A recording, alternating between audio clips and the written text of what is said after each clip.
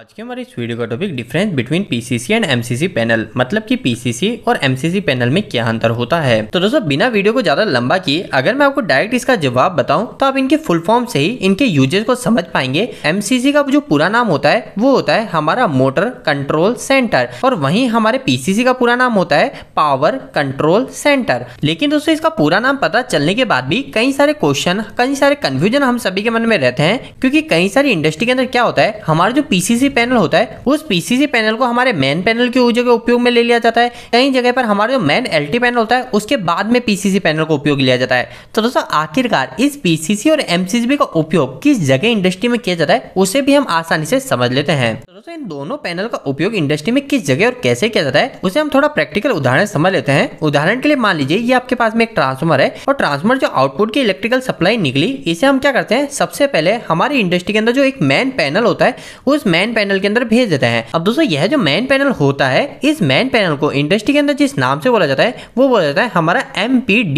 मतलब कि main panel distribution board लेकिन दोस्तों, यहाँ पर आपको एक बात का ध्यान रखना है कि सभी इंडस्ट्री के अंदर आपको इस पैनल को मैन पैनल बोलते हुए नहीं दिखेंगे। कई सारी इंडस्ट्री के अंदर तो इसे एमपीडीबी ही बोलेंगे, लेकिन इसके अलावा कुछ इंडस्ट्री के अंदर इसे पीडीबी बोल देंगे मतलब कि पावर डिस्ट्रीब्यूशन बोर्ड भी बोल देंगे। इसके अलावा कई सारी इंडस्ट्री के अंदर इसे पीसीसी पैनल भी बोल दिया जाता है। लेकिन दोस्तों, जैसा कि हम सभी को पता है कि हमारा जो पहले वाला पैनल है, ये हमारा मेन पैनल है, क्योंकि ये ट्रांसफॉर्मर के बाद में नंबर वन पे लग रहा है और इसी की मदद से हमारी इंडस्ट्री के अंदर पूरी डिस्ट्रीब्यूशन होगी। तो इसलिए आपको ध्यान रखना है, यह जो पैनल होता है, यह हमारा पैनल का नाम होता है एमपीडीबी मतलब कि मैन पैनल डिस्ट्रीब्यूशन बोर्ड दोस्तों नेक्स्ट एमपीडीबी पैनल के बाद में क्या होता है? तो इसके लिए आपको पता होना चाहिए कि हमारा जो एमपीडीबी पैनल होता है या हमारे जो भी पैनल होते हैं, उसके अंदर क्या होते हैं? कई सारे ऐसे अलग अलग सेक्शन बने रहते हैं। मतलब कि यह जो पूरा है, ये पूरा तो हमारा एक पैनल बोर्ड है। लेकिन इसके अंदर क्या है? ये हमारे कई सारे छोटे छोटे सेक्शन बने रखे हैं। अब ये जो कई सारे छोटे छोटे सेक्शन आपको दिख रहे हैं, इसे हम क्या बोलते हैं? इसे हम बोलते हैं फीडर अब दोस्तों, यह जो फीडर होता है, इन फीडर में से कई जगह अलग अलग जगह हम कंपनी के अंदर सप्लाई भेज देते हैं। अब हम क्या करते हैं? हमारी रिक्वायरमेंट के अनुसार कि हमको किस जगह क्या चलाना है, उसके अनुसार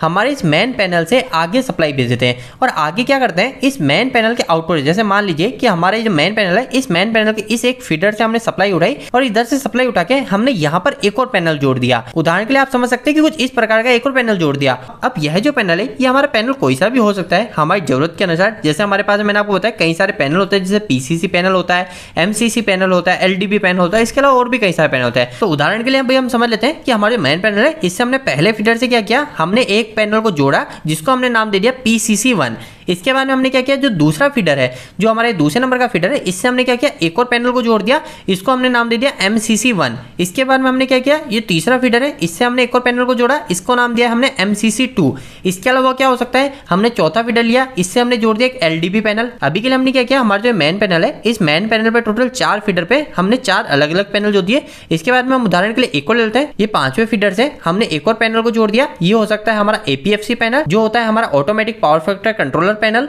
इसके अलावा हम नेक्स्ट जोड़ सकते हैं सोलर पैनल इसके अलावा जोड़ सकते हैं ऑटोमेशन पैनल मतलब कि हमारे पास में कई सारे पैनल होते हैं, लेकिन अभी हम वीडियो के अंदर जो मेन बात कर रहे हैं, वो कर रहे हैं हम पीसीसी और एमसीसी पैनल के ऊपर। अभी तक हमने क्या समझा? अभी तक हमने ये समझा कि आखिरकार पीसीसी पैनल और एमसीसी पैनल को किस जगह जोड़ा जाता है? हमारी इंडस्ट्री में किस जगह लगे रहते हैं? लेकिन अब ये पीसीसी पैनल और एमसीसी पैनल है। इसके अंदर तो हमारी सप्लाई आ गई, लेकिन इसके आउटपुट से हम क्या करते हैं? तो जैसा कि मैंने आपको स्टार्टिंग में बताया कि हमारा जो पीसीसी पैनल होता है, यह पीसीसी पैनल भी आपको देखने में इसी तरीके का देखने को मिल सकता है और हमारा जो एमसीसी पैनल होगा, वो भी आपको दिखने में इसी तरीके का हो सकता है। हम ऐसा नहीं बोल सकते कि पीसीसी पैनल में हमारा वोल्ट मीटर लग रहा है, जबकि एमसीसी में नहीं लग रहा होगा। दोस्तों, दोनों में हमारी सेम चीज़ें लगी हो सकती है। फ़र्क किया जाता है कि हमारा जो एमसीसी पैनल होता है, ये एमसीसी पैनल मेनली डिज़ाइन किया जाता है हमारी मोटर को कंट्रोल करने के लिए। हमारी जो मोटर होती है कई सारी, जो स्टार डेल्टा स्टार्टर होता है, हमारा डिओल स्टार्टर होता है तो ये सभी जो चीज़ें होती है, ये सभी जो स्टार्टर होते हैं, ये ज़्यादातर आपको एमसीसी पैनल में देखने को मिलेंगे। जैसे उदाहरण के लिए मान लीजिए कि अगर ये हमारा एमसीसी पैनल है तो इसके अंदर जब आप इसके फीडर पे जाओगे तो आप देखोगे इसके फीडर पर क्या होगा? यहाँ पर आपको कई सारे स्टार्टर देखने को मिल सकते हैं इसके फीडर के अंदर, या फिर यह भी हो सकता है कि इस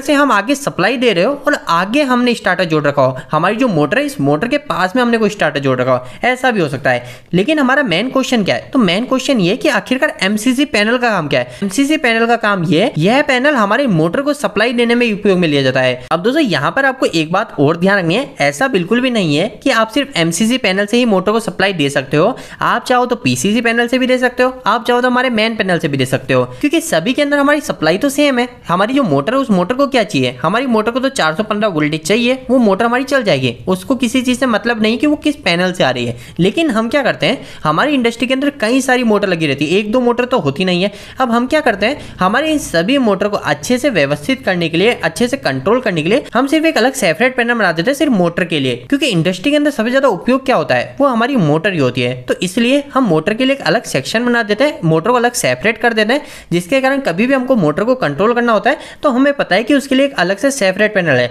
हम डायरेक्ट उसके पास चले जाते हैं और वहीं से हमारे मोटर का काम कर लेते हैं। लेकिन वही दूसरे केस में दोस्तों हम पीसीसी पैनल की बात करें तो पीसीसी पैनल भी आपको सेम इसी तरीके का देखने को मिलेगा। लेकिन पीसीसी पैनल में क्या डिफरेंस हो जाता है? तो पीसीसी पैनल जो होता है, वो मेनली डिज़ाइन करता है हमारे पावर को ट्रांसफ़र करने के लिए। हमारी इंडस्ट्री के अंदर मोटर के अलावा भी और भी कई सारी चीज़ें होती है। जैसे कि हो सकता है आपकी इंडस्ट्री में अगर वैक्यूम ब्रेकर लग रहा हो हो सकता है आपकी इंडस्ट्री में कंप्रेसर लग रहा हो हो सकता है आपकी इंडस्ट्री में ईओटी क्रेन लग रही हो। इसके अलावा हो सकता है कि आपकी इंडस्ट्री में कूलिंग टावर लग रहा हो तो हमें जैसा कि पता इंडस्ट्री में और भी कई सारी चीज़ें लग रही होती है। सिर्फ़ ऐसा नहीं कि सिर्फ़ मोटर पर इंडस्ट्री चल रही है, मोटर के अलावा भी इंडस्ट्री में और भी कई सारी चीज़ें चल रही है तो उन सभी चीज़ों को पावर भेजने के लिए हम हमारे पीसीसी पैनल का उपयोग लेते हैं। लेकिन अगर हम एमसीसी पैनल की बात करें तो ये जो एमसीसी पैनल होता है, इसका पूरा नाम होता है मोटर कंट्रोल सेंटर जो कि हमारा मेनली यूज़ किया जाता है मोटर को कंट्रोल करने के लिए। और हमारा जो पीसीसी पैनल होता है, इसका नाम होता है पावर कंट्रोल सेंटर और इसको जो उपयोग लिया जाता है, वो हम लेते हैं हमारी कई जगह पर अलग अलग जगह पावर भेजने के लिए। तो दोस्तों उम्मीद है कि आज के इस वीडियो के माध्यम से आपको पीसीसी पैनल एमसीसी पैनल क्या होता है, इनमें क्या डिफरेंस होता है और इसके अलावा आपको थोड़ा इंडस्ट्री में पावर कैसे डिस्ट्रीब्यूशन होता है, उसके बारे में भी क्लियर हो गया होगा। आपको यह वीडियो कैसा लगा प्लीज़ वीडियो को लाइक करके ज़रूर बताएँ। अगर आपको कोई भी सवाल इस वीडियो के प्रति आप इलेक्ट्रो आप मुझे कमेंट बॉक्स में कमेंट करके पूछ सकते हैं। इलेक्ट्रिकल पसंद करते हैं, आज मैं चैनल को सब्सक्राइब कर लीजिए। आज के लिए इतना ही, धन्यवाद।